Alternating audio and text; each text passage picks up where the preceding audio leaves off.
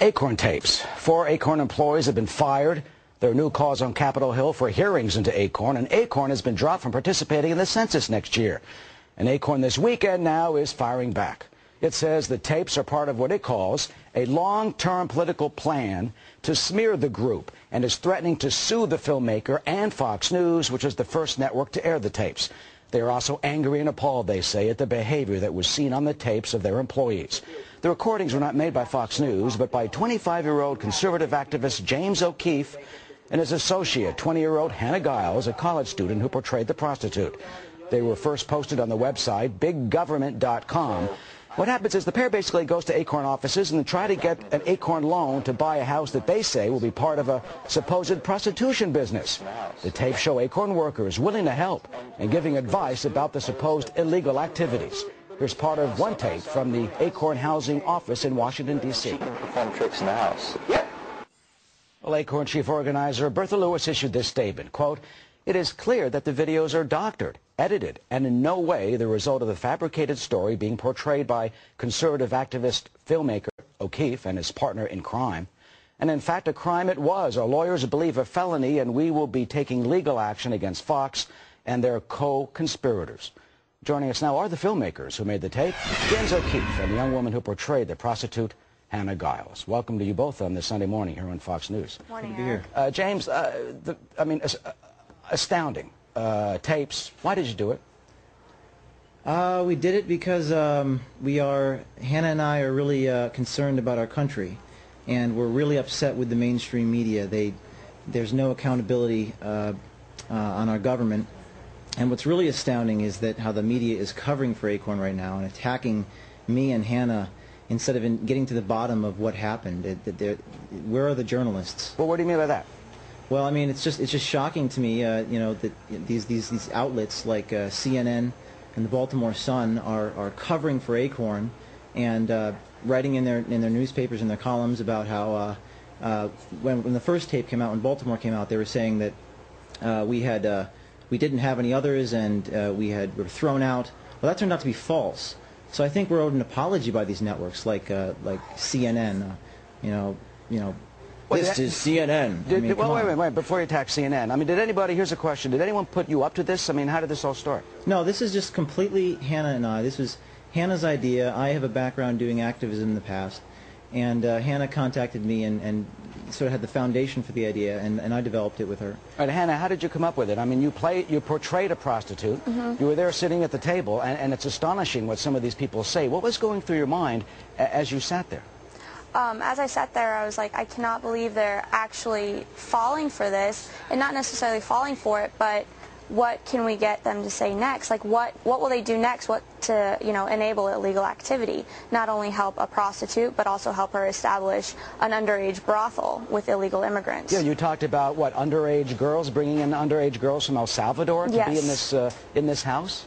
Yes, we did. We said we wanted to um, ship the underage girls in, into um, you know the neighborhood so we could establish an underage brothel to funnel James's political campaign in a few years. It's that's such an outrageous type of setup uh, story. Uh, I mean, and they asked you to join Acorn. They asked us to join Acorn, and um, if we needed help on um, our taxes, they gave us $100 off so we could get started with our business. Now, James, uh, you talked about uh, the, the reporting this morning. Acorn is calling it a smear, a politically activated uh, smear. Uh, is it, in your view, a smear? Was it politically motivated, uh, the reason you did this? Uh, we're just trying to hold these organizations accountable.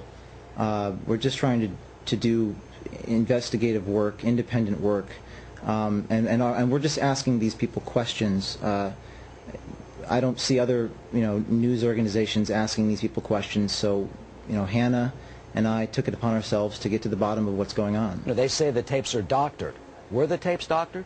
Absolutely not. Um, they don't have any leg to stand on, so they're, they're, they're saying that I dubbed in my voice, which is completely absurd.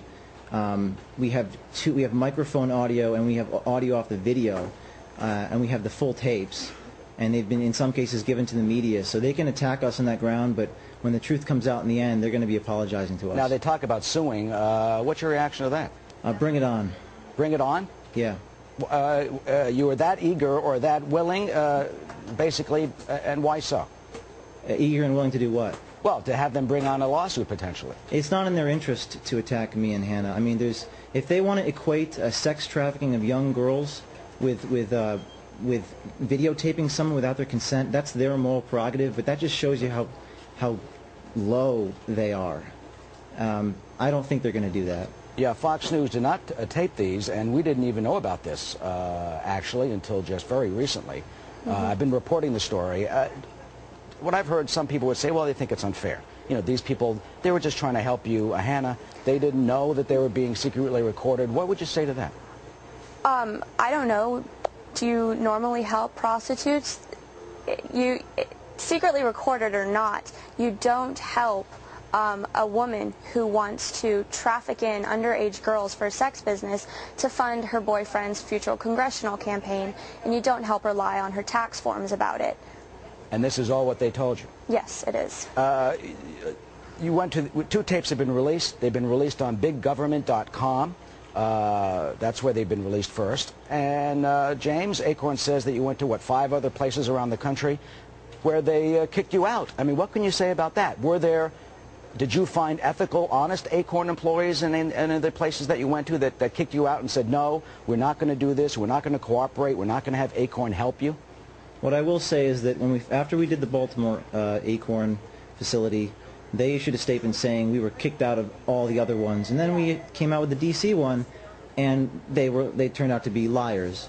So uh, I would just I would just uh, hold out and see you know how much they're willing to lie, and at the end of this, uh, we're going to see the truth come out, and um, we're going to see them apologize to me and Hannah. You want an apology from Acorn? Absolutely. Also about the whole kicking out, I mean, the women in Baltimore hugged me and um, when I left, and the women in D.C., I did follow-up phone calls, and they asked if I could come and meet them for coffee so we could further discuss how to make this possible. So at least in these first two tapes, they didn't kick you out, but you, but you are saying that there were some that did uh, refuse? James or Hannah? No, no. Oh, uh, say that again. Uh, were there some that refused uh, uh, your offers that, that actually did not were not willing to cooperate? No, in none of the none of the facilities kicked us out. That's a lie. All right, Hannah, and final final point. What do you take from all this and having gone through this experience and what you learned? Um, I've learned that Acorn is extremely corrupt, that um, they will do anything to appease the community. And honestly, I, um, to tie this back into the whole voter fraud, if they see if they see an, uh, a girl running a brothel, and if they help us, I think they would be able to tap into voters because we help them and we could link it back to them, and, and they could help get who they want elected.